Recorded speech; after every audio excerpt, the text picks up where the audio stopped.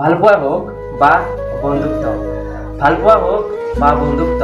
চবতকৈ ডাঙৰ বস্তুটো হৈছে সন্মান। আৰু য'ত সন্মান নাই তাত তোমাৰ থকাতকৈ নথকাই ভাল।